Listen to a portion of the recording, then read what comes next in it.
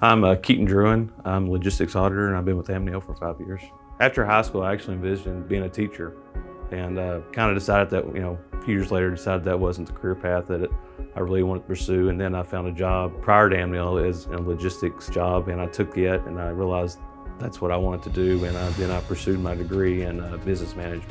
When I started at Amneal, I was still in school. Before I completed my degree, I was promoted to the inventory control uh, position and that position helped me get through school more than school helped me do my daily tasks because I was already exposed to daily activities at a, you know, in a job environment. And uh, after completing my degree, I was uh, promoted to logistics auditor. Everybody has had a hand in my growth from our logistics team, from our warehouse team, from our facilities teams. I work with those guys on a daily basis and they've all continued to help me grow. If I've, you know, make a mistake, you know, it's not a browbeater situation. They kind of coach me through it and let me learn from my mistakes and continue to grow.